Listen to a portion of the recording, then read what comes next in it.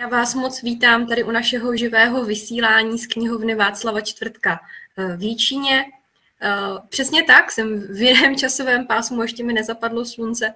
Eh, já mám tuhle fotografii naší knihovny moc ráda, takže na živá vysílání si ji dávám takhle jako pozadí.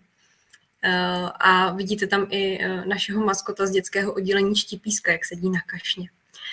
Ale abych to nezamluvila, eh, dnešní den je pro nás velmi vzácný, protože eh, pozvání do knihovny živě přijal velmi vzácný host, a to pan doktor Vlastimil Vondruška, historik, etnograf, publicista, spisovatel a jeden z nejpůjčovanějších autorů v českých knihovnách. Napsal velké množství knih, ať už odborných eh, nebo beletristických, a myslím, že jeho jméno je vám všem, kteří jste se k nám připojili, velmi dobře známe. Eh, já tedy nyní předávám slovo eh, našemu milému hostovi. Pan Vondruška bude zhruba tak půl hodiny povídat a poté bude právě prostor pro ty vaše dotazy, které můžete psát do chatu. Já je tady budu hlídat, schraňovat a nezapomenu je panu Vondruškovi položit. Takže pane Vondruško, předávám vám slovo. Děkuji, dobrý den. Pro mě je to setkání také velice důležité, protože věřte tomu nebo ne, poslední setkání s čtenáři ještě naživo jsem měl před dvěma lety. Od té doby nás tedy jaksi tísní korona, takže já věřím, že se setkáváme v době, kdy se začíná blízkat na lepší časy, kdy se vrátíme do normálu a kdy tedy se zase začneme věnovat takovým těm normálním běžným radostem našeho života. Já tedy bych to dnešní setkání eh, jak si nechtěl pojímat nějak eh, příliš vážně, takže spíše alespoň v téhle části se pokusím hovořit nevážně o sobě, o mé rodině, o literatuře, no a samozřejmě i o vás, o čtenářích, protože věřte mi nebo ne, my autoři to s vámi čtenáři někdy vůbec nemáme snadné.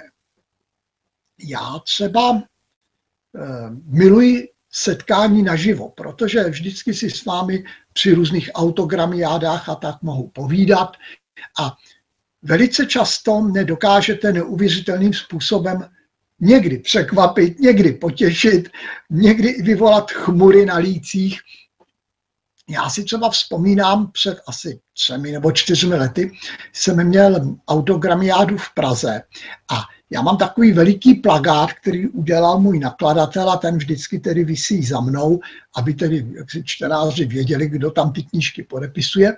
No a přišel pán, nechal si tu knížku podepsat a pak mě říkal, ale ten plagát za váma, to je marketingový trik, že jo? A já jsem říkal, proč myslíte? No, protože ve skutečnosti vypadáte mnohem hůř. Takže to jsem si říkal, má štěstí, že už měl tu knížku podepsanou, ale samozřejmě takovýhle rejpalů je minimum. Naopak spousta čtenářů přichází a dávají si podepsat knížky. A já si dělám takový někdy malý sociologický výzkum, takže jsem třeba zjistil, že v některých ohledech je obrovský rozdíl mezi čtenáři v Čechách a na Moravě. Protože pokud přijde tedy pár a dává si tu knížku podepsat s věnováním pro oba, tak eh, v Čechách obvykle tedy mě řeknou, prosím vás, napište tam Janě a Petrovi věnuje. Na Moravě zásadně Petrovi a Janě tam prostě ještě pořád v duchu těch jejich jaksi tanců, verbuňků a tak, kde vždycky chlap se předvádí vepředu a žena tedy jaksi se skromně krčí za ním, tam je to vždycky obráceně. Ale e, jsou i čtenáři, kteří jsou mimořádně jaksi všímaví a zvědaví, takže jsou takoví, kteří mě, jaksi ty mé knížky, jak si studují s mapama, s různýma kalorickýma tabulkama, s mapama zalesnění a pak tedy jak si mě jak si sdělují své poznatky. Já musím říct, že jsem velice rád, protože já se díky tomu často dozvím věci, které by člověka nenapadly, ve škole se nenaučíte, protože prostě každý ví něco jiného a je strašně fajn, když si tyhle věci umíme sdělovat, ale pochopitelně tedy jaksi nějakým korektním a laskavým způsobem. Nicméně byl třeba auto, byl třeba čtenář, který vzal moji knihu Zdislava a ztracená relikvie a teď eh, změřil přesně vzdálenosti jednotlivých míst, kde se ten příběh odehrává. Podle knihy udělal itinerář časový, co všechno Diviš musel na koni objezdit. A pak mě napsal, že podle toho itineráře to ten Diviš nemohl stihnout, protože prostě jak si to nemohl za ten den ujet. Eh, já teda samozřejmě zase nedělám ty knihy teda takhle precizně, ale na druhou stranu, protože je to můj kraj a znám ho, tak mě to zase bylo divný, že bych se zase o tolik moc zmílil. A protože máme tedy sousedku, která má koně a věnuje se hypoterapii, tak jsem byl za ní a říkal jsem, hele Markéto, on teda říká, že tohle se za den na koni nedá ujet, ale to se snad dá, ne? Tak ona se na to dívala a pak mi říkala, no, on má teoreticky pravdu, ale podle norem Evropské unie. Protože věřte tomu nebo ne, Evropská unie znormovala, kolik se za den má ujet na koni, aby se netrápil kůň a zřejmě ani ten jezdec. Takže podle téhle normy může kůň ujet za den 30 kilometrů. Tyhle normy ve středověku neznali, takže klidně jezdili i 50, 60, navíc tehdy byl takový ten systém, že bylo možno koně vyměnit v zájezdní hospodě, takže pravdu jsem měl já, to mě hrozně potěšilo. Ale takovýhle detailů najdete strašně moc. A jak říkám, jako jsem, jsem jaksi čtenářům vděčný, na druhou stranu zase je nutno si uvědomit, že román není vědecké dílo. Samozřejmě, když píšu detektivky, tak ta míra fabulace je vždycky nepatrně větší, než když píšu ty historické epopeje. Tam samozřejmě tedy, jak si musím být věrný, tam musím vycházet z pramenů a pouze si domýšlím to, co tedy v těch pramenech nenajdete. Eh, ono z toho 13. století, ze kdy tedy jaksi pochází přemyslovská epopej a v níž se odehrá, a jsou to kulisy, v níž se odehrávají příběhy Oldřicha z Chlumu, tak těch skutečných informací máme strašlivě málo.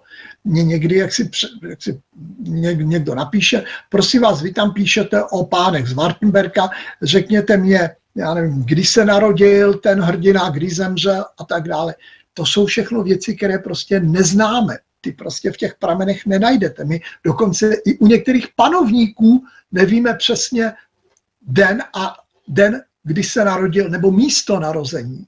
Takže e, autor musí vždycky pracovat s určitou mírou fabulace. Ale já se vždycky snažím, abych vám jaksi t- tu kulisu přiblížil co nejvěrněji, protože když píšete román, tak můžete mít vlastně dva modely technicky, jak si s tím materiálem, jak s ním pracujete, jak s ním naložíte.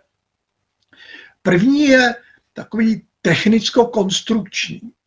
Vy si uděláte algoritmus příběhu, něco jako když byste stavěli dům a děláte si projekt, takže dopředu máte přesně vymyšleno, čím začnete, čím skončíte, eh, co se tam bude průběžně odehrávat. Takže máte přesný algoritmus, jak ten příběh oběží a při psaní ho pak už jenom oblepujete nějakými epizodami a dialogy. Takhle třeba píše Dan Brown. Jak říká vám můj přítel Honza Bauer, my talentovanější píšeme imaginativně. Eh, my si ne, nevytváříme tyhle jaksi algoritmické konstrukce. My si pouze na začátku v hlavě vytvoříme určitou představu doby, příběhu, charakteru postav a ve chvíli, kdy začneme psát, tak jako bychom do té doby vstupovali, jako bychom s tím hrdinou ten příběh prožívali a teprve v průběhu toho psaní, tak se vlastně některé epizody a věci generují. Takhle třeba psával třeba George Simenon, o něm to bylo známo, že ten, když se do toho příběhu svého ponořil, tak ho prostě musel napsat v podstatě najednou. On dokázal jednoho Megreta napsat za sedm, za osm, za devět dní, ale nesměl být vyrušován. Musel si prostě celou tu dobu žít v tom příběhu. Tam on ve, ve svých vzpomínkách dokonce uvádí, že se mu jednou stalo, že eh, měl rozepsaný nějaký ten příběh a musel to přerušit, protože zemřel někdo z rodiny a on musel jít na pohřeb. A když se vrátil, tak už se prostě do toho nedokázal dostat. Takže ten rozepsaný román vyhodil a začal psát něco úplně jiného. Takže tohle imaginativní psaní, to tedy jaksi je i můj případ. Eh, takže já do toho příběhu vstupuji a vlastně tak, jak jdu s tím hrdinou a co vidím, vidím ty domy a u, oděvy, bordel na ulici, tak to se snažím skutečně jak si psát tak, jako bych to prožíval s nimi a tudíž, abyste to mohli prožívat i vy. Eh, já někdy dostávám dotaz, zda je Oldřich Schulmu reálná historická osobnost.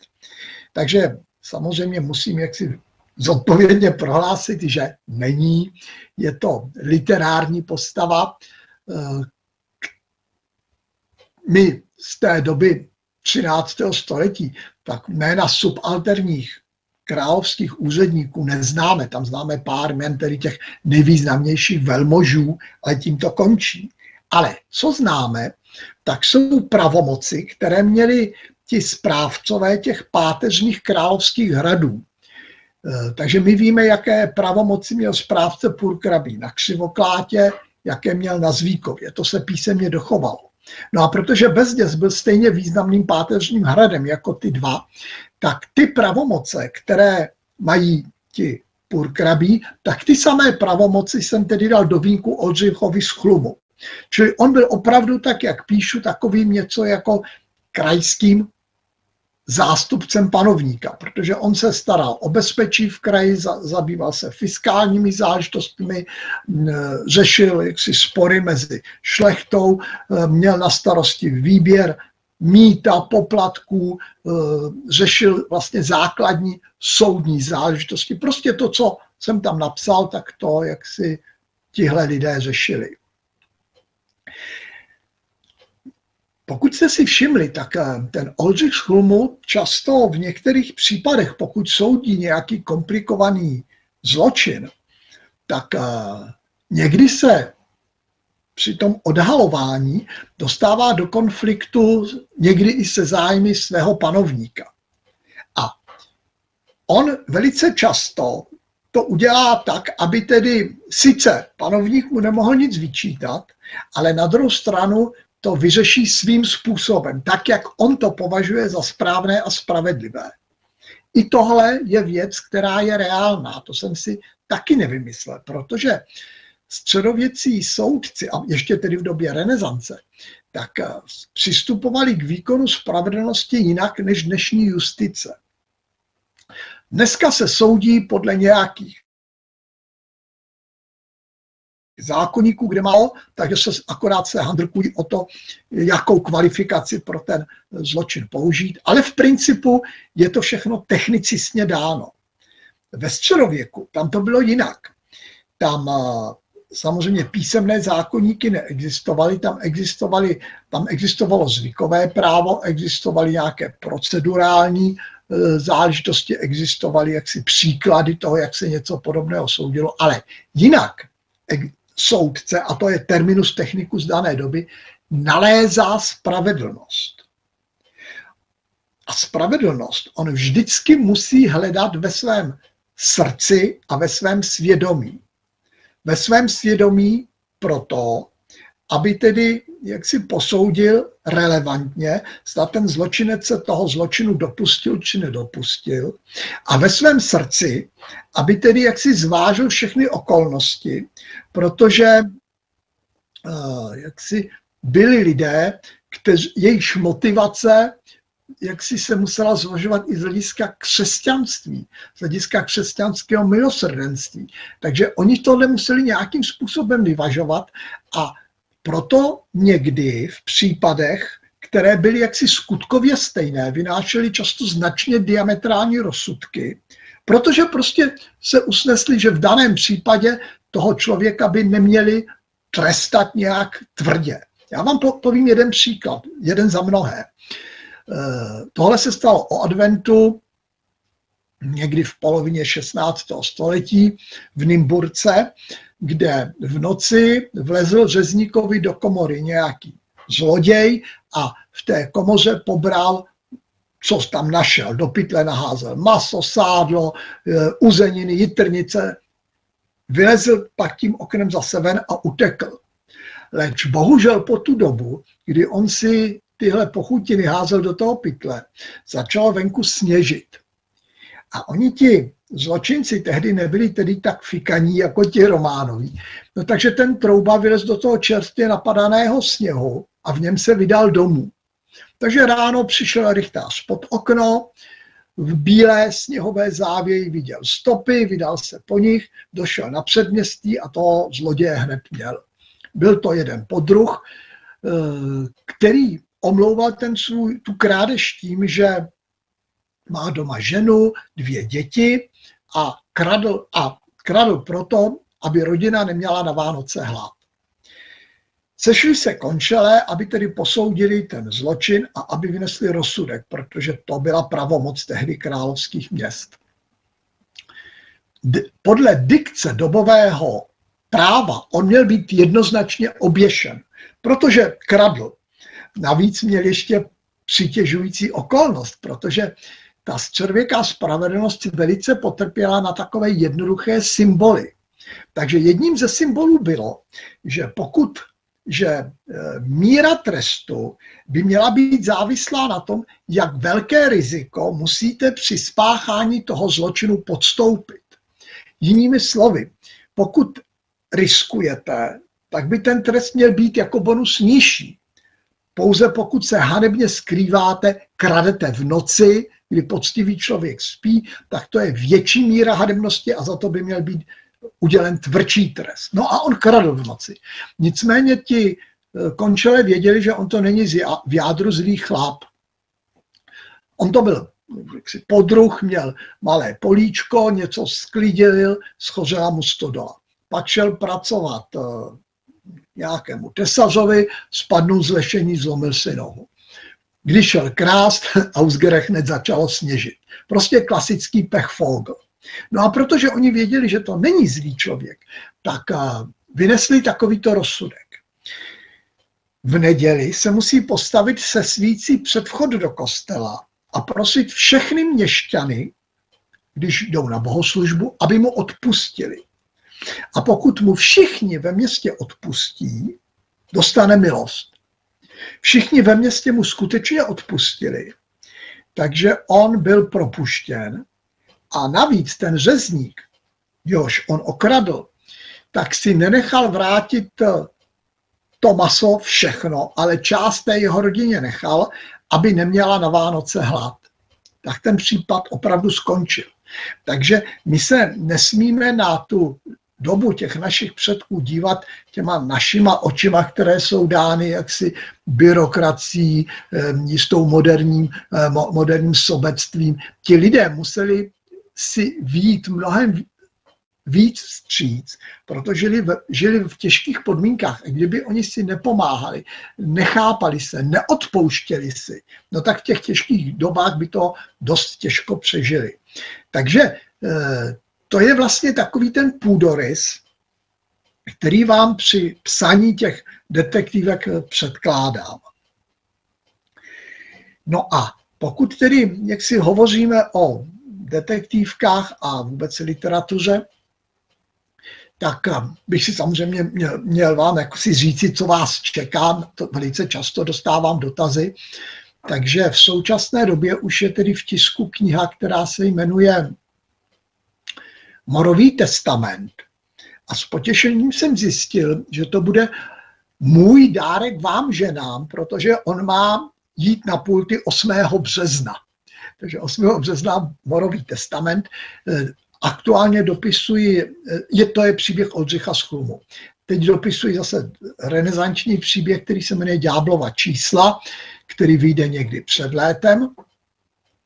No a vlastně kdysi jsem napsal Přemyslovskou epopej, pak jsem napsal Husickou epopej, potom jsem tedy ještě napsal Křišťálový klíč, což je tedy taková jaksi rodinná sága barokní. No a Eh, jak si sliboval jsem si a sliboval jsem to i, i, i své rodině, že s těmihle velkými projekty, jak si už skončím, protože přece on tak člověk má nějaký ten svůj věk a ono je to tyhle dlouhé ságy, to je fakt dost komplikovaná a hodně složitá věc i z hlediska přípravy sběru materiálu, teď aby vlastně ty jednotlivé díly na sebe navazovaly. Ale vy čtenáři na mě vlastně neustále útočíte, proč nenapíšu ještě ságu Lucemburskou. A já jsem se strašně dlouho bránil a proto jsem vysvětloval, že ten Karel IV. zase mé duši není až tak úplně blízký, protože já mnohem více uznávám poslední přemyslovské panovníky, protože ti v podstatě založili slávu a velikost Českého království. On vlastně stavěl jenom na tom, co ti přemyslovci vybudovali. A tak jsem prostě se furt z toho vymlouval. No, prostě abych to zkrátil, na Vánoce v letošním roce by měl být první díl Lucemburské epopeje. Ten první díl se bude zabývat dobou Jana Lucemburského. Jaký bude přesný rozsah, i když jsem si to naplánoval, to ještě úplně přesně nevím, protože právě díky tomu imaginativnímu psaní, o které jsem hovořil, tak já mám někdy problém, že když se do toho příběhu jaksi zaberu, a teď najednou prostě ty postavy obživnou a začnou prostě si žít ten svůj život, tak oni jsou někdy jako téměř neuříditelné a najednou prostě se mi ten příběh rozběhne a je mnohem širší, než jsem si představoval. Pokud jste, pokud znáte moji ságu nebo jako dobrodružné příběhy o sběratelích ostatků, tak eh, na konci eh, v anotaci na zadní straně čtvrtého dílu Zloděj ostatků se dočtete, že to je čtvrtý díl trilogie. Prosím, to není chyba. Já vím, že trilogie má tři díly, ale ono to skutečně nakonec tak vyplynulo, protože já jsem původně chtěl psát jednu knihu o sběrateli ostatků. Takže jsem to tak domluvil s nakladatelstvím, začal jsem psát a tu anotaci, kterou jsem jim před zaháním psaní dal, zněla, že eh, ten hlavní hrdina Martin Zaspolna odejde do Francie, tam bude studovat, naučí se, eh, eh, zjistí, jak se dají falšovat ostatky, vrátí se do Českého království, tady v té činnosti pokračuje a pak se přidá ke Karlovi IV. k jeho slavné korunovační jízdě do Říma a tam mu pomáhá, protože on na té cestě ty ostatky sbíral. No a začal jsem psát a v té Francii to je nádherná země a, a ty kulisy jsou fantastické. No a prostě Martin Zespolna byl furt ve Francii, furt ve Francii, kniha příběh tloustl, tloustl, eh, až tedy už to bylo teda jako hodně tlusté a on byl vlastně pořád ještě ve Francii ve víru stoleté války. Takže jsem to nakonec udělal tak, že jako se v rámci z té stoleté války se vrací do Čech, to jsem odevzdal a říkal jsem si, třeba to tak projde. No neprošlo, hned záhy poté mě šéf redaktor volal, říkal, a pane doktore, kde máte tu kurnovační jízdu toho císaře Karla IV. Tak jsem říkal, no víte, to je takové, to, to, to je takové zvláštní, zajímavé téma. Já jsem si říkal, že by to bylo hezký, že by to mohlo být jaksi samostatný díl pokračování. Říkal, no to je výborný, tak to napište. Tak jsem tedy Martina ze Stvola přivedl do Čech, no a zase se to opakovalo. Pořád bylo v těch Čechách dělat, co dělat, pořád bylo co dělat. Tak tam už jsem to tedy jaksi přiznal, takže ještě než jsem to dopsal, tak jsem volal šéf redaktorové, říkal jsem, hele, co kdybychom z toho udělali trilogii, protože tohle se bude odehrávat v Čechách, no a ten třetí díl, ten bude tedy jaksi ta kornová čízda. Tak on to odsouhlasil, protože samozřejmě to říkal, že to je výborný. No a pak jsem tedy psal, psal, psal, a když už to vypadalo zle, tak nakonec jsem na tu korunovační jízdu dostal. No a na zpáteční cestě on se vrací a dívka, kterou tedy v tom druhém dílu miluje a myslí si, že zemře, tak na konci toho třetího se dozví, že žije a že v eh, klášteře zavřená intrikama Rožemberku. No on, on se vrací s tím, že až přijede domů, takže ji osvobodí a že spolu začnou žít. A mně to připadalo jako takový jako, jako docela jako pozitivní konec, protože já nemám rád takové ty červenoknihovní, kdy jak si na konci se musí samozřejmě ten milující pár sobě zahledět nivě do očí a políbit se pod rozkvetlou jabloní. No. Jen co jsem to dopsal, tak mě začali bombardovat čtenářky, že přeci takhle to nemůže skončit, že se vrací před Alpy, že přece musí tu svou milovanou z toho kláštera zachránit a musí se obejmout a políbit pod rozkvetlou jabloní. No, já jsem se strašně dlouho bránil, protože v té době už jsme to tedy jaksi oznámili, že to je trilogie, no ale tak nakonec jsem podlehl, napsal jsem čtvrtý díl trilogie a říkal jsem si, ale musím zabránit tomu, abych nemusel psát dál, takže jsem to dovedl skutečně až do konce, to znamená na konci ten Martin ze Stvolna po plodném, skvělém životě umírá. A říkal jsem si, fajn je konec. No to, to jsem, to nezna, jsem jaksi neznal vás, mé čtenáře, protože zájemně jeden jaksi napsal, že to téma je strašně zajímavé a jestli bych nemohl napsat pátý díl, což by bylo pokračování o osudech syna toho Martina ze Stvolna. Tak to už jsem samozřejmě nenapsal, ale jenom se tím snažím demonstrovat, že ono tohle imaginativní psaní je někdy problém, protože tím, jak si přidělávám problém sobě, protože to napíšu víc, než jsem chtěl, nakladateli, protože pak musí se domlouvat s tiskárnou, protože dneska to není tak snadné, jsou limity na papír, jako bývaly kdysi. Ehm, prostě je to, je to strašně složité dneska s tím, jak ty, ty knihy jak si vydávat.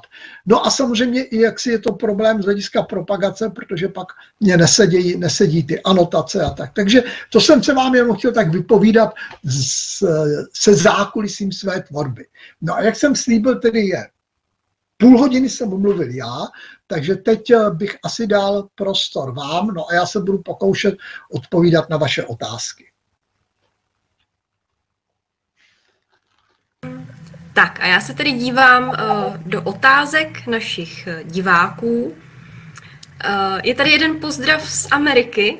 A, naše divačka píše, že manželova maminka nám posílá vaše knížky poštou a spolu se nahlas čteme. Ježiš, Takže krajané, krajané až v Americe čtou vaše knihy. Uh, máme tu i dotaz eh, na nějaký další velký projekt, takže to už jste zmínil, tu uh, lucemburskou epopej, takže se máme těšit zase na něco velkého, výborně. Uh, píše Tomáš Jozífek, mě by zajímaly komentované prohlídky bez dězu, budou-li letos tak pokud nám strana a vláda zase nepřilepí na ústy náhubky, tak snad ano.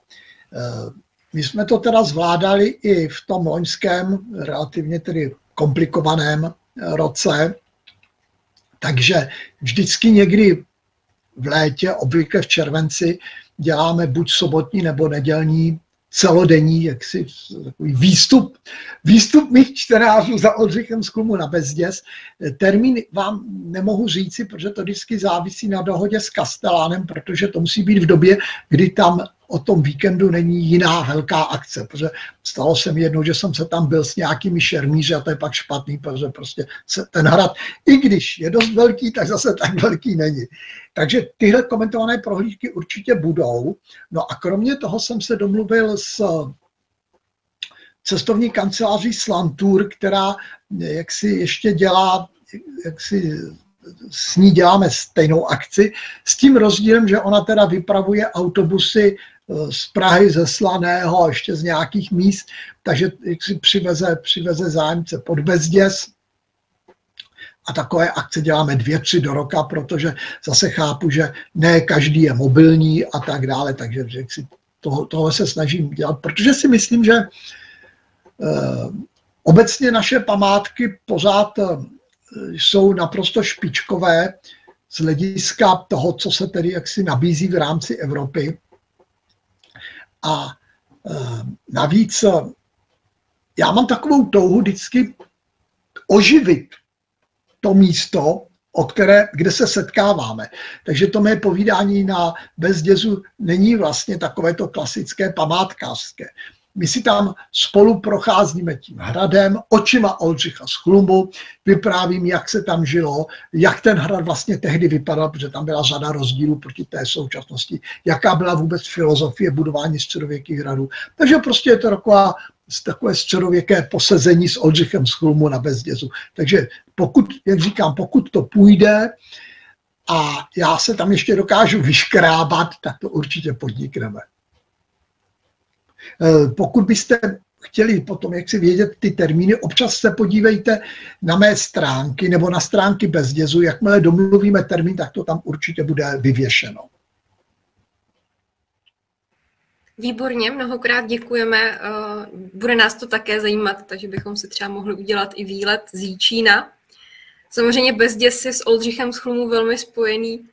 A eh, to, jak jste říkal, že další příběh Oldřicha z Chlumu vyjde 8.3. jako dárek pro ženy, tak jako opravdu, jako příběhy Oldřicha z Chlumu jsou eh, v ženských očích naprosto neuvěřitelné, protože ten Oldřich z Chlumu je naprosto jako snový muž ta jeho obrovská věrnost Ludmile a, a, a vůbec jako to, jak je obrovský čestný, má tohle něco společného s realitou? Nebo kde jste čerpal inspiraci pro takovouhle postavu?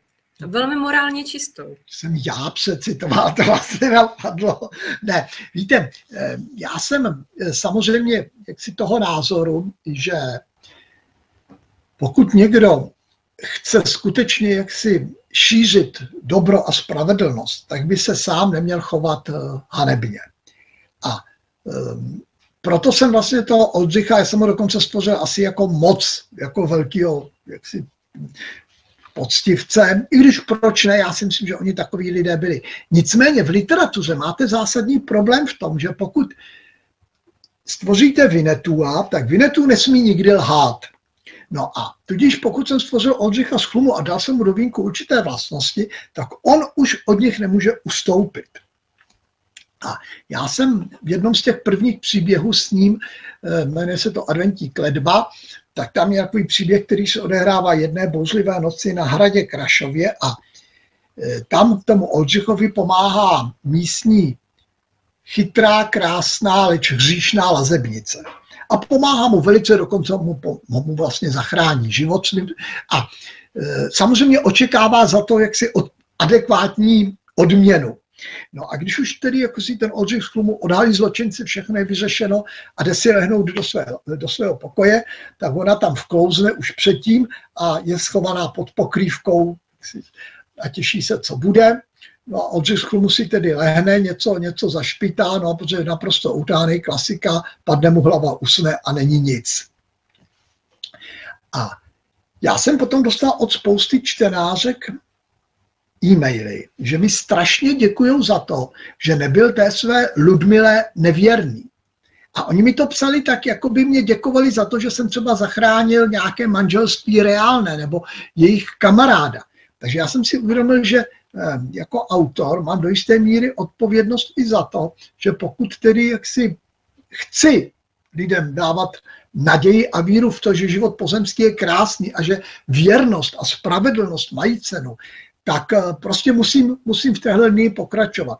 Na druhou stranu zase jsem si všiml, že některé jiné čtenářky mě vždycky psali, ale panoše, o tu nebo, neoženíte, že ne? Tak jako slibuju, panoše, o tu neožením a Oldřich z nebude nevěrný.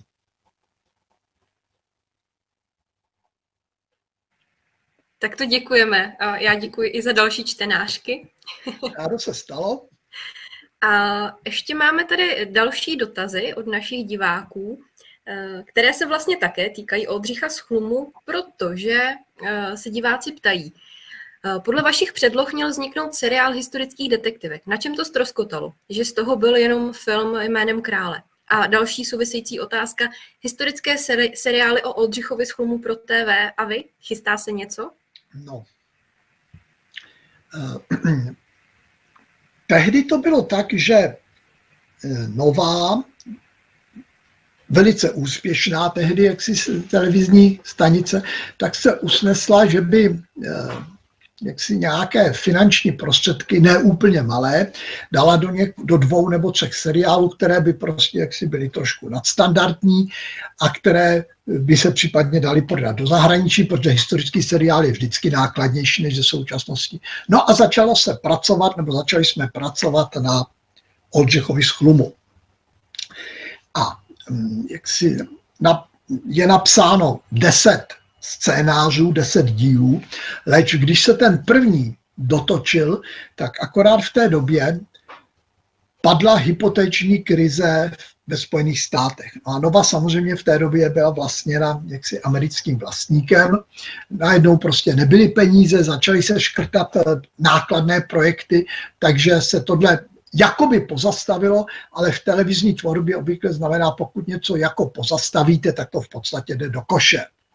Takže sice těch 10 scénářů plus projekt na 16 dílů na té nově je, ale jak si už se tomu nikdy nevrátí. A já se přiznám, že s určitým drobným odstupem jsem skoro rád, protože já jsem měl totiž jak si takový pocit, že jak si vždycky ta parta těch filmových tvůrců, tak všichni mají jaksi touhu společně udělat nějakou pěknou věc. Jenomže velice záhy jsem zjistil, že jak si tam zvlášť ti, ti na té špičce, má každý své obrovské ego a v podstatě spolupráce je téměř nemožná, neřešitelná. Takže díky televizi jsem třeba pochopil, že autorem Hamleta není Shakespeare.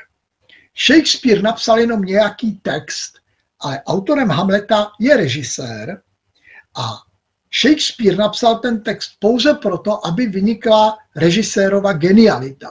Takže pokud má Hamlet přijet na Harley, přijede na Harley a přesto vlak nejede. No a samozřejmě do stejných konfliktů jsem se dostal i já, protože ten scénář na ten první díl vypadal dost odlišně od toho, jak to pak bylo natočeno. Takže mně se to tedy vůbec nelíbí, už protože ten scénář jak si vychází z klasického detektivního formátu, zatímco tady, aby jsme byli moderní, tak hned v první scéně ukážou, jak tedy ten Ričiš zastřelí toho kupce, takže v podstatě není téměř o co hrát a tak dále a tak dále. Takže to, to se, z toho jsem byl dost rozladěn, no a obávám se, jak by jak si dopadlo, dopadly ty další díly. Ale zase na druhou stranu musím říct, že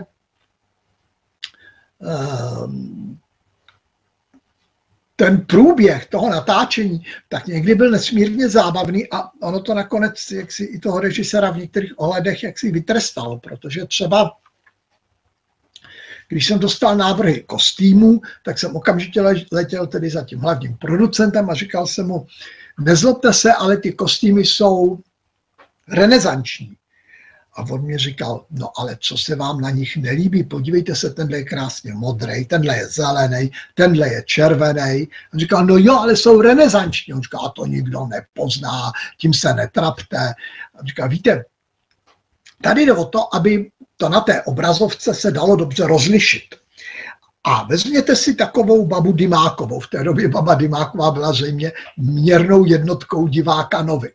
Baba Dimáková blbě vidí, blbě slyší, občas si jde třeba udělat kafe, protože bydlí sama, eh, No a když se vrátí a neuvidí tam ten, a, a, a nemůže najít hned brejle, tak když tam neuvidí ten modrý, zelený, červený flek, no tak ona se nám ztratí, přepne na jinou stanici a my přijdeme o rating. Takže jsem pochopil, že prostě přes to vlak nejede. No pak zase tedy, jak si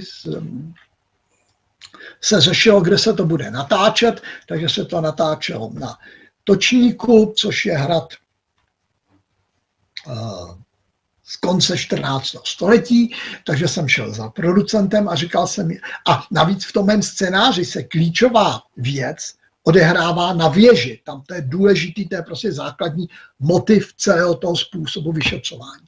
No a Točník, jak známo, je jeden z mála hradů, který věž nemá. Tak jsem letěl za producentem a říkal jsem mu, hele, točník nemá věž a navíc je mladší.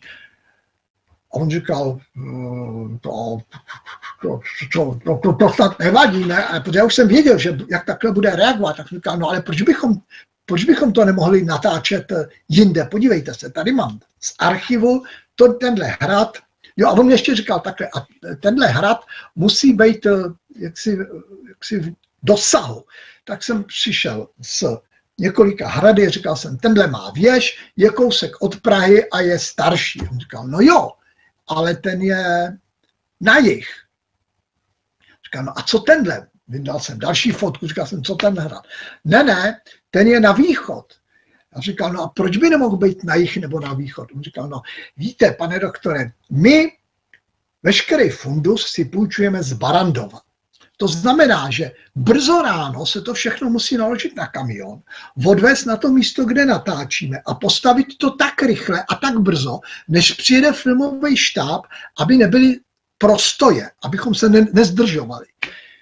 Víte vy, kolik času my bychom ztratili, kdybychom jeli s kamionem ráno přes plnou jižní spojku, přes Prahu, na jih nebo na východ?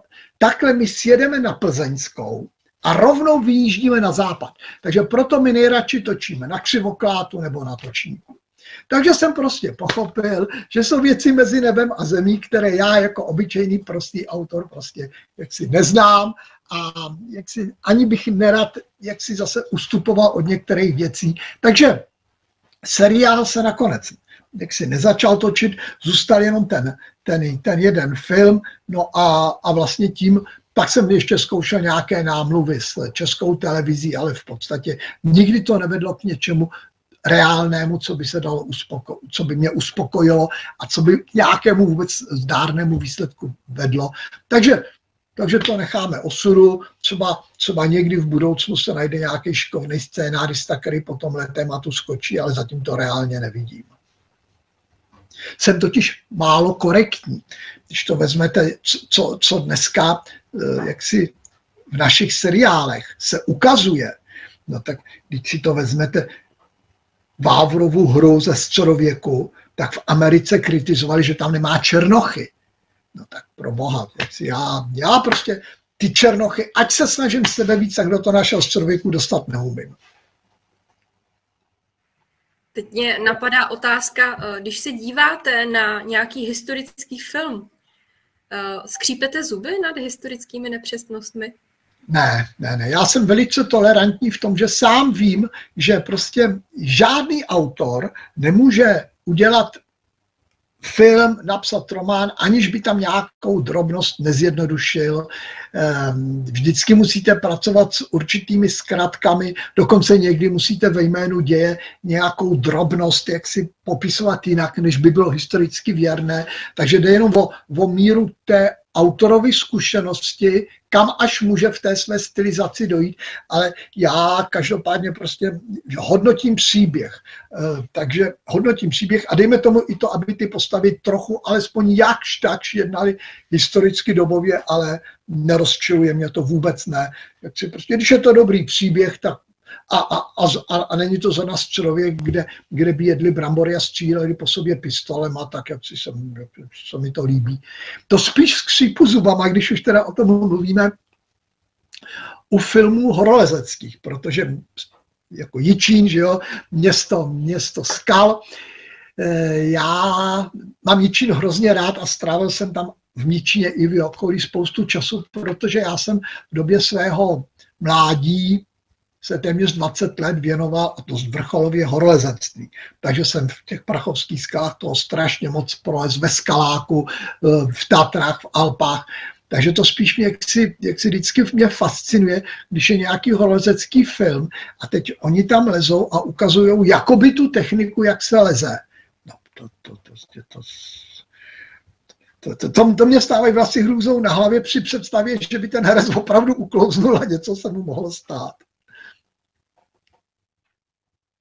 No a když jsme u toho Prachova, tak hmm. samozřejmě Jičínské pole mrtvých. Ano, ano. To se, to se vlastně odehrává uh, nejenom v Jíčíně, ale právě z, z velké části i na Prachově, přímo ve skalách. Uh, ty místa, která tam postavy procházejí, máte vy osobně prochozené, prolezelé? Prolezlé? No, no tak já jsem v prachovských skalách skutečně prolez, no, já nevím, 50, 60 věží mám slezených a obvykle teda ani ne těma nejjednoduššíma cestama.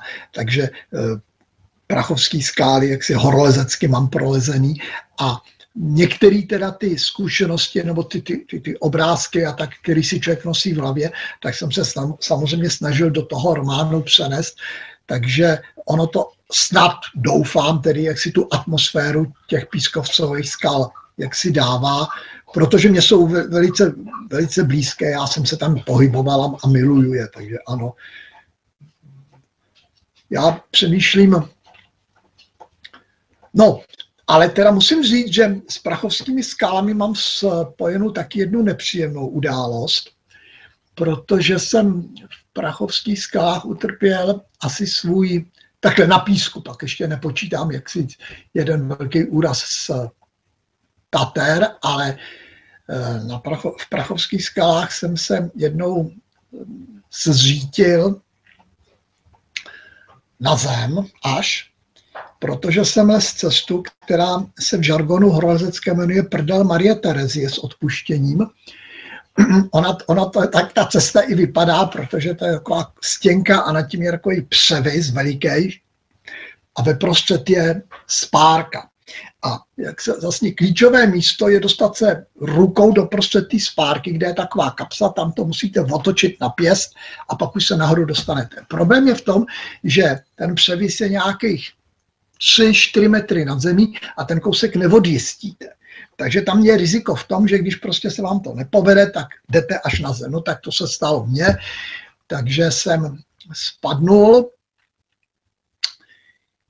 došel jsem si do Jičína pěšky do nemocnice, tam zjistili, že mám epidurální hematom, takže mě poslali domů, takže jsem si ještě autobusem dojel domů. To není jako dneska, kde pro vás lítají helikoptéry. My, když jsme měli nějaký problém, tak žádný mobily, šestkrát písnout na píšťalku a, a když se něco stalo, tak do nemocnice buď dojet stopem nebo dojít pěšky. To se o nás nikdo nestaral. Takže jsem dojel domů a nějakou dobu jsem se léčil. No a tak, ale to taky patří k životu. Nefňukat. Jo, tak to byl adrenalinový zážitek přímo od nás z Prachova. Byl adrenalinový zážitek pro mého spolulesce, já si to moc nepamatuju. Dobře, tak abych ještě nezapomněla na další dotazy, které tu máme, eh, tak je tu kronika od eh, pana Václava France, to byl dotaz. No. Eh, líbí se mi kronika zániku Evropy. Při četbě jsem si říkal, že kniha z roku 2019 nepředpověděla COVID, ale předpovídá islamizaci Evropy, nedostatek energie a tak dále. Jak těžko se píše o budoucnosti? Tak já jsem toho názoru, že ona se budoucnost nedá jaksi, jaksi striktně oddělit od přítomnosti a minulosti, protože vlastně e, ty dějiny se stá, neustále opakují a mnoho věcí jako nikdy nespadne jako meteor z nebe. Prostě mnohé společenské procesy prostě po, nenápadně vznikají, nazrávají a potom samozřejmě v něco kulminují. A tyhle tenhle proces, tak má jaksi eh, model v tom, co se dělo kdysi. Takže já jsem ten covid jsem zanedbal, to uznávám, to si autorsky si popel na hlavu, ale jinak v té predikci tohohle problému, tak si myslím, že jaksi nejsem až tak daleko od reality, i když věřím, že to nebude tedy tak, jak jsem to literárně zpracoval, ale pokud se podíváte na současnou Evropu, tak eh, tyhle problémy už pomalu v některých místech začínají. Eh, v Berlíně se děti učí ve škole odříkávat Allahu Akbar. Evropská unie dokonce geniálně vymyslela, že bychom neměli říkat Vánoce, abychom tedy neuráželi naše muslimské ehm, spoluobčany. V ve Francii už máte některé jaksi no-go zóny. Začaly už se tam zavírat mešity, protože prostě už se s tím začínají jaksi si pojít různé problémy. Takže uvidíme, já samozřejmě věřím, že do téhle podoby to nedojde, ale je to, je to řekněme, jaksi určité literární pošťouchnutí, abychom si uvědomili, že my máme přednostně povinnost vůči své zemi, svým tradicím, svému národu a svým dětem. A to bychom měli vždycky vědět jiným slabším je nutný pomáhat, ale jenom do té míry, abychom tím nezdevastovali svoji vlastní realitu. Tak to bylo v minulosti vždycky. Křesťanská, eh, křesťanské milosrdenství bylo vždycky postaveno na tom, že musíme pomáhat těm, kdo si to zaslouží a kdo si toho váží. Ve středověku byla migrace naprosto běžný fenomen. Lidé přicházeli, odcházeli, šli za lepším živobytím, ženili se, provdávali se a odcházeli často ze země do země. A, ale mělo to tři základní pravidla. Museli eh, se umět sami uživit, když někam šli, museli respektovat jazyk a víru obyvatelstva, kam se stěhovali a museli ctít zákony panovníka, jehož se automaticky stávali podanými. Pokud by tohle fungovalo dneska, tak samozřejmě ty problémy by nebyly takové, jaké se už objevují, protože pojem multikulturalismus, to znamená soužití více naprosto odlišných kultur a odlišných morálních, právních, rodinných norem vedle sebe prostě nemůže fungovat. To je politický mediální projekt, ale pokud se podíváte do americké odborné kulturně antropologické literatury, tak tam tenhle pojem nenajdete. Prostě věda, reálná eh, věda, která se zabývá jaksi klasifikací kulturních procesů, tak ta, ta, tenhle pojem nezná.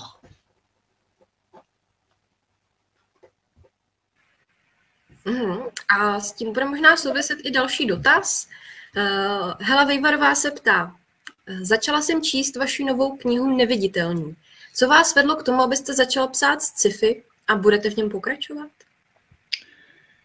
Uh, já jsem, jak si to, to byl víceméně jaksi určitý momentální nápad, stejně jako ta kronika. Prostě občas se eh, jak si člověku stane, že dostane nějaký nápad, který buď zahodí, anebo si říká, to není úplně špatný a pak teď to začne promýšlet. Takže my jsme s, já jsem se svou ženou hodně o tom diskutoval, samozřejmě, abychom jaksi vymysleli nějaké kulisy, protože ona je totiž na vědecko-fantastickou a tuhle technicistní literaturu proti mě obrovský odborník, takže já jsem měl kde poradit.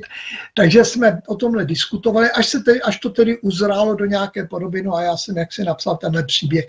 Eh, asi pokračovat nebudu, protože to není jaksi mě vlastní parketa, já bych rád pokračoval v těch dílech historických, ale samozřejmě člověk nemá nikdy říkat nikdy, eh, třeba se zase objeví nějaké zajímavé téma, které Protože víte, ono, oni mnohá sci-fi, eh, ať už je to ať už to je Orwell, nebo to byly ty staré utopie a, a Verneovy romány, tak mnohdy vlastně jako jsou jaksi zrcadlo současnosti, kdy tedy se ukazuje ta budoucnost, co by mohlo být, kdyby bylo. Takže já jsem to skutečně psal spíš nikoli jako, že bych chtěl napsat nějaký jaksi, eh, abstraktní příběh ze vzdálené budoucnosti. Já jsem spíš chtěl jaksi na, uh, ukázat, uh, kam mo- mohou vést jaksi um, aberace, to znamená jaksi pokřivení, pokřivení toho, kam bychom měli směřovat.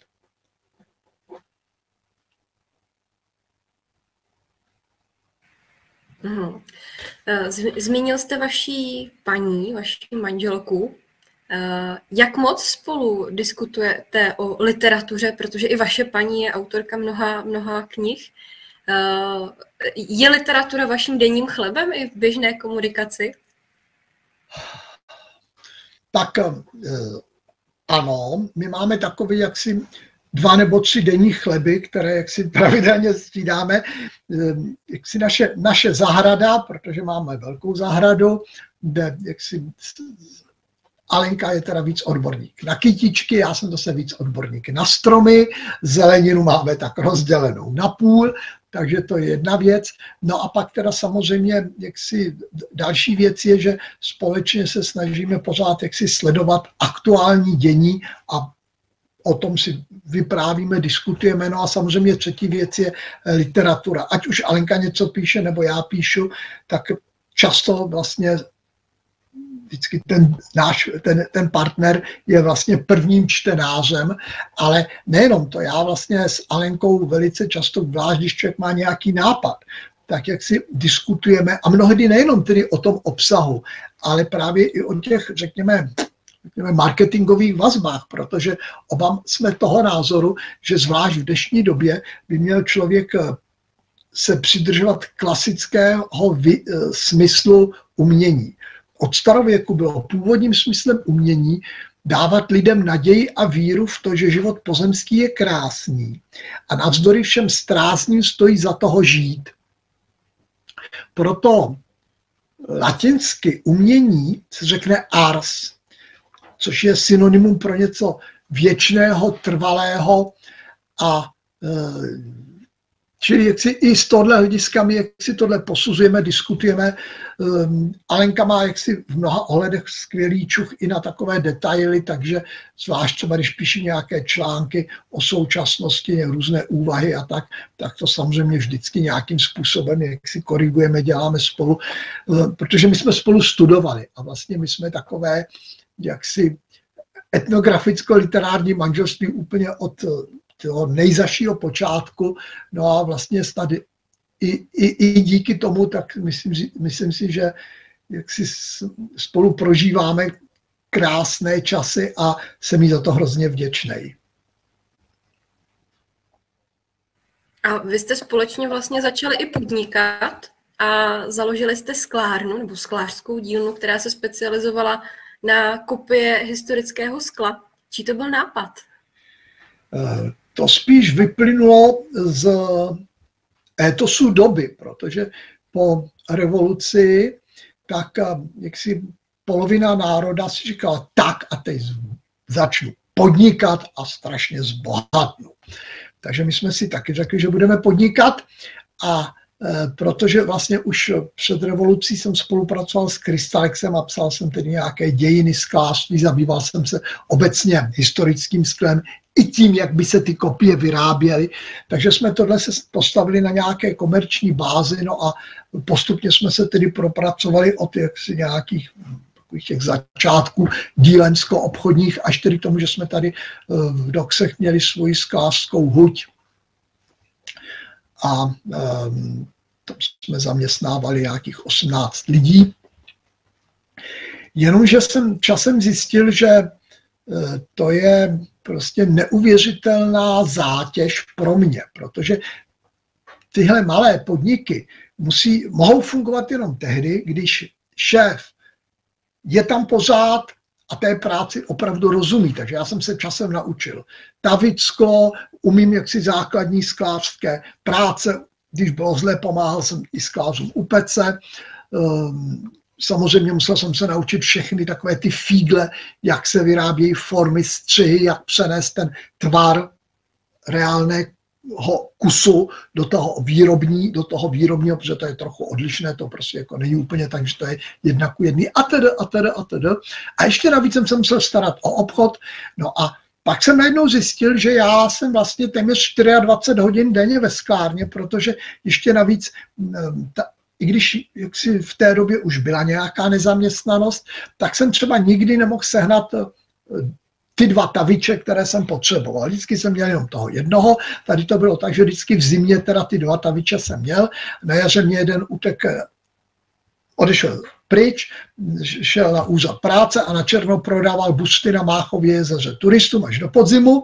No a když odešli turisti, tak jsem mi vrátil. Takže já jsem vlastně nějakých 5-6 měsíců eh, kromě toho, že jsem pracoval přes den, tak jsem celou noc musel být na huti a starat se o tavbu, protože sklárna není jako jiná výroba. Tam prostě vohnete plech, pak vypnete stroj a jdete domů, ale tu sklářskou pec nevypnete. Tam musí pořád běžet díky těm vysokým teplotám. Tak když chcete vypnout sklářskou pec, tak ji musíte několik dní pomalu podle určité křivky sjíždět, aby to prostě nerozpraskalo. No a navíc přes noc musíte natavit, aby se ráno vyrábělo. Takže prostě mě už to potom začalo strašně zmáhat. No a pak a protože v noc, ale díky tomu zase protože jak jsem jak si musel být na huti a tavit, a, ne, a to zase není práce furt, tam naložíte sklo, pak dvě hodiny koukáte, jak vám pec leze nahoru, pak, pak se jdete podívat, jestli se to tam ví dobře, tak ale musíte tam být. Tak já jsem tohohle času vlastně využil a na, na, ve sklárně jsem začal psát nebo vrátil jsem se k psaní, protože já jsem před, předtím psával různé povídky, ale tehdy jsem zkusil psát první romány, takže ve sklárně jsem napsal Díku s hadem, Zdislavu a ztracenou relikvi, záhadu zlaté štoly. Takže tam jsem začal psát. A pak v nějaké době, tak eh, jsme s Alenkou řešili, jestli tedy, jak si dál držet tu opravdu vyčerpávající výrobu a nebo tedy jak si zkusit se živit psaním. Což mě hrozně lákalo. Ale to bylo v době, kdy ta sklárna samozřejmě vydělávala a živila nás. Tím psáním bych se tehdy ještě asi neuživil. Měli jsme naštěstí nějakou drobnou finanční rezervu, no a tehdy Alenka mě řekla, hele, prostě dělej, co, kam tě táhne srdce, my to vždycky nějak zvládneme. No a prostě to je vždycky strašně skvělá věc, když prostě vám někdo doma takhle, jak si, jak si ty vaše touhy po, podpoří. Takže jsme nakonec tedy tu sklárnu utlumili, zavřeli a dal jsem se do psaní na plný úvazek, začal jsem dělat propagaci, jezdil jsem po knihovnách, psal jsem, no a nakonec se to tedy jaksi nějakým způsobem zuručilo. Nicméně, ten objekt nám zůstal, sklářská pec tam stále stojí, takže až lidé, až milí čtenáři, až přestanete číst mé knížky, tak se možná budou muset zpátky ke sklářství vrátit.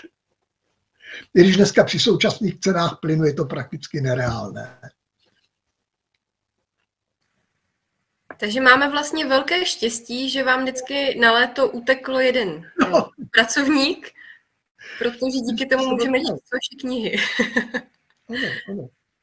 Máme tu další dotaz od diváků. Eh, Václav France ptá, ve které době byste chtěl žít, pokud by to bylo možné? Eh, a další otázka jeho, jestli si neideal, neidealizujeme některá období naší minulosti. No, eh, tak jak si právě se znalostí minulosti, tak samozřejmě, že by mě srdce táhlo k tomu být rytířem ve středověku, ale um, obecně já jsem spokojen navzdory všem potížím, které máme, tak jsem spokojen s dobou, ve které žiju. Protože ono zase jak si v historii neexistuje kdyby, ale v životě taky neexistuje kdyby. Takže jako pak je otázka, jestli bych v jiném životě potkal ty lidi, které mám rád, jestli bych mohl dělat tu práci, kterou mám rád. Takže já prostě, jak si, pokud bych si musel vybrat, tak určitě bych neměnil. No a co se týká té idealizace, ano, co je to idealizace? Ono vždycky záleží na tom, které hodnoty jak si upřednostňujeme. Každá doba má své plus a své minus. Takže já samozřejmě v literatuře se vždycky snažím zdůrazňovat ta plus doby, o které píšu. Pochopitelně každá doba má i svá minus. Jenomže eh, třeba popisovat reálné hygienické návyky a e, zobrazovat, jak na ulicích i v té Praze pobíhali vepři, psy, ležela tam lejna jednou za čas se e, tam to nějak spláchlo vodou. E, to prostě jako je zase třeba ta negativní stránka toho. Je pravda, že ti lidé kdysi na jednu stranu byli velice jaksi milosrdní a pomáhali si v okruhu těch, které znali. Ale na druhou stranu zase byli dost jaksi tvrdí eh, vůči těm, kteří jim chtěli něco brát, protože prostě sami měli málo. A teď jako je to plus nebo minus. Dneska, jako se říká, musíme se o něco rozdělit, ve středověku se rozdělit nemohli. To by je prostě, eh, jak si, to, by, to by tím by ohrozili sami sebe. A proto se v mnoha ohledech museli chovat velice tvrdě, možná bychom dneska třeba řekli krutě nebo sobecky. Čili ono je otázka, co je pojem idealizovat. My nemůžeme našima očima se dívat na tu dobu, protože jinak, věřte mi nebo ne, ti lidé tehdy byli šťastní a spokojení. Oni nežili s tím, že žijí v nějakém temném středověku, že je zlé, že to ne. Oni v lidské povaze je vždycky to, že v tom, co máte, tak chcete-li vůbec nějakým způsobem přežít, musíte si vždycky umět najít to pěkné. A to ti naši předkové opravdu uměli, čili oni se uměli bavit, uměli se smát, milovali svůj život, eh, vybudovali nádherné věci. Ono je to znát i třeba z typu zábavy nebo z některých písní, z literatury. Takže eh, jak si svým způsobem ti lidé tehdy byli opravdu šťastní a je otázka, jestli v některých ohledech nebyli šťastnější než my, protože oni sice měli toho z hlediska hmotného relativně málo, ale zase měli mnohem větší jaksi spektrum té normální mezilidské zábavy toho kontaktu. Jak si dneska dneska jak si co, tak, tak máte mobily, eh, máte eh, půlka, eh, půlka populace čučí do počítačů, zbytek se marně snaží najít v televizi něco, co by je bavilo. Tehdy ty lidé, ti lidé se dokázali naprosto skvěle bavit bez těchto technických hejblátek a já tomu skutečně věřím, že byli přitom šťastní.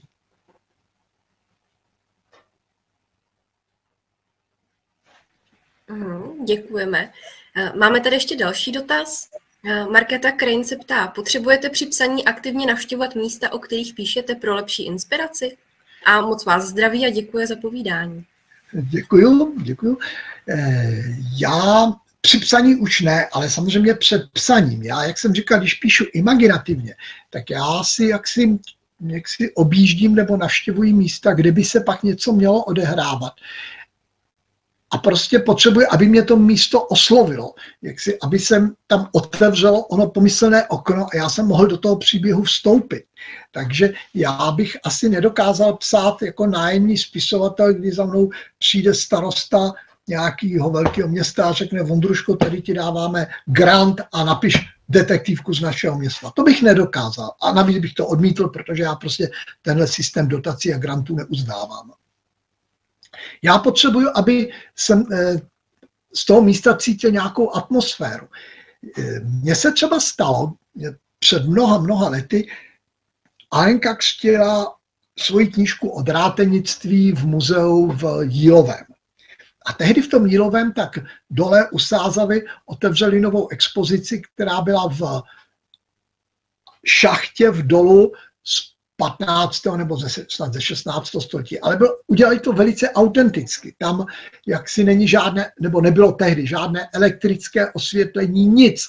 Tam člověk dostal baterku, plášť, aby se moc neušpinil, přilbu, aby, aby si neotlouk hlavu, no a, a takový plánek a podle něj procházel těma chodbama, na tom plánku tedy bylo napsáno, kde co je, ale nikde nebyly žádný panely, žádný fotky, žádný žlutočerný štráfy na podlaze, aby člověk věděl, že je tam snížený podlet. Nic. Bylo to prostě autentický. No a já, když jsem do téhle štoly vstoupil, tak najednou jsem viděl horníka v perkytli a truhlici otevřenou se zlatem. A v tu chvíli mě naskočil příběh, o kterém jsem do té doby vůbec neuvažoval.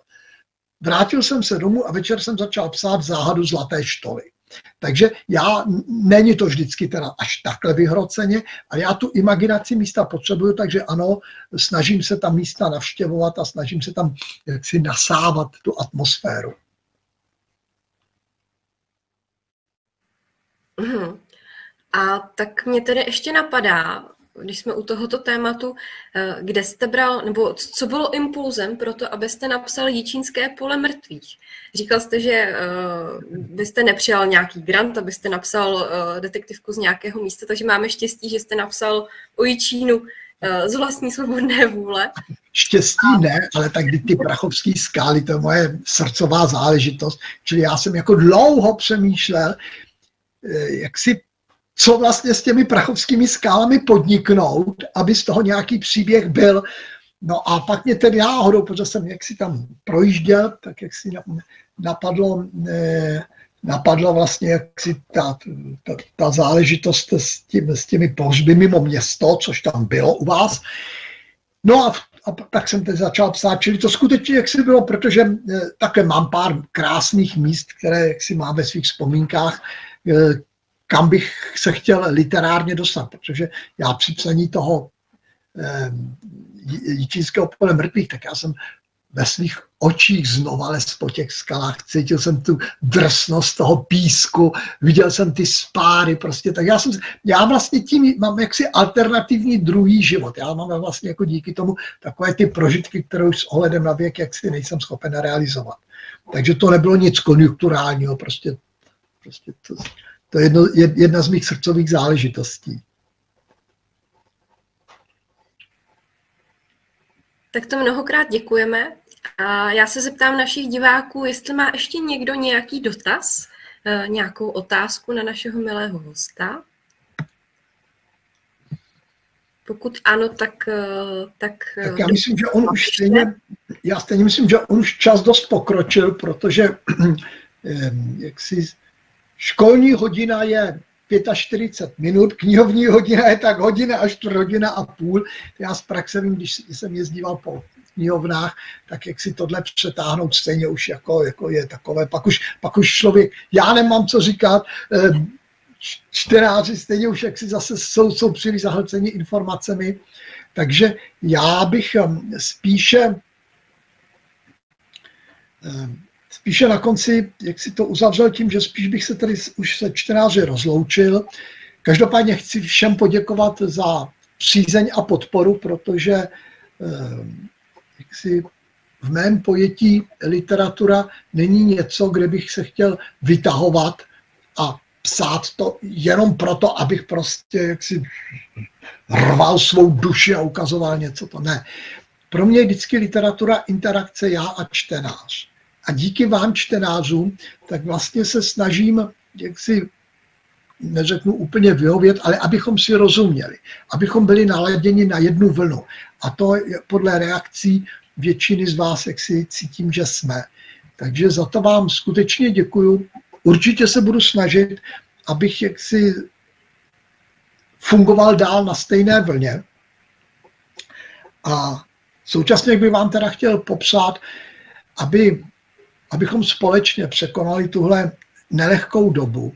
A hlavně nenechte se otrávit. Nenechte se otrávit, protože úředníci, zákazy, problémy přicházejí a odcházejí. Prostě v našem lidském životě nemůže nic zůstat neustále. I to dobré, i to špatné se takhle neustále přelívá a je to něco jako kivadlo. Čili pokud jaksi se dostaneme do situace, že je nějaký problém, tak to kivadlo se velice záhy začne vracet, aby nás odměnilo tím sluncem, těmi úsměvy, já doufám, jaksi i tou svobodou. Takže hlavně se nenechte otrávit a uh, užívejte si života, jak jen to půjde, protože nedávno jsem četl takovou krásnou myšlenku a to by skončil, žijeme jen jednou, ale to přece není pravda. Jednou pouze umřeme, ale žijeme každý den. Na to nesmíme zapomínat. Děkuju a zase někdy naslyšenou. Tak krásná myšlenka na závěr. Eh, já jenom prozradím, že naši diváci vás moc zdraví, velmi děkují a eh, posílají vám smajlíky plné radosti za dnešní za dnešní besedu a povídání. Teda takový dám taky smajlíka na závěr a dodatečně všem krásný nový rok. Mnohokrát děkujeme a z knihovny Živě, z knihovny Václava Čtvrtka v Jíčíně, z našeho online živého vysílání s vlastním Lemundruškou se s vámi loučíme a budeme se těšit zase příště u dalšího pořadu. A třeba naživo.